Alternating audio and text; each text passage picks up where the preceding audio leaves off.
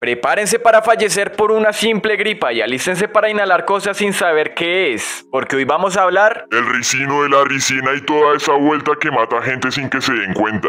La ricina es una de las toxinas más potentes y conocidas en todo el mundo. Para ser más concretos, esta es una fitotoxina con actividad citotóxica. Esta toxina se extrae de las semillas del Ricinus communis o también llamado ricino, castor, tartago, higuereta, higuerilla o higuera. Esta planta arbustiva de la familia Euphorbiaceae es originaria de África tropical y también de Etiopía. También es considerada como maleza invasora, por lo que se ha extendido alrededor de todo el mundo. Inclusive en algunos lugares también se utiliza como planta ornamental. Esta planta produce una gran cantidad de hojas muy parecidas a la planta del cáñamo, Además de eso, produce una cantidad aún mayor de semillas que tienen una corteza externa asimilándose a los pinchos. Estas semillas son de gran utilidad ya que contienen entre un 46 a un 53% de aceite de ricino. Este aceite es bastante utilizado en la industria para generar jabones, para generar pinturas y también para generar productos cosméticos. Pero además de esto, estas semillas son las responsables de contener la ricina, una de las toxinas más peligrosas del mundo. De hecho, el consumo de tan solo 4 de estas semillas son necesarias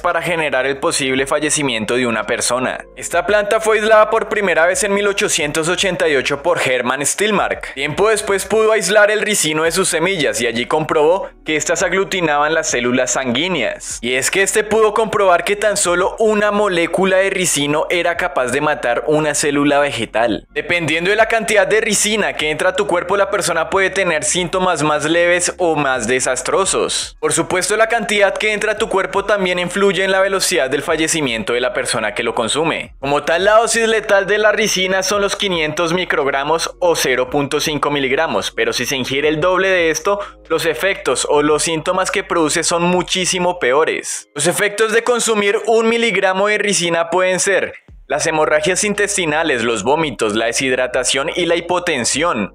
Y por supuesto todos estos síntomas llevan a la muerte bastante rápido. Pero si se utiliza solo la dosis letal, los efectos pueden ser más parecidos a los de una gripa o un resfriado común. Estos síntomas pueden ser la dificultad para respirar, la fiebre, la tos, la presión en el pecho, las náuseas y probablemente la acumulación excesiva de líquidos en los pulmones. Por la naturaleza de estos síntomas las personas pueden creer que solo tienen un resfriado común, por lo que no buscan asesoría médica. Pero hay una pequeña probabilidad de que si se aumenta la sudoración de la persona, esta puede expulsar por completo la toxina por el sudor. Esta sustancia ha tenido sus menciones en series y películas, como por ejemplo en Breaking Bad, la cual fue utilizada para asesinar al personaje narcotraficante Tuco. Pero en la vida real también ha sido utilizada como armas químicas. En 1978, un escritor y periodista fue atacado por un hombre con un paraguas. Este paraguas en realidad era una pistola de aire comprimido camuflada, y tan solo cuatro días después la persona afectada falleció por intoxicación por ricino.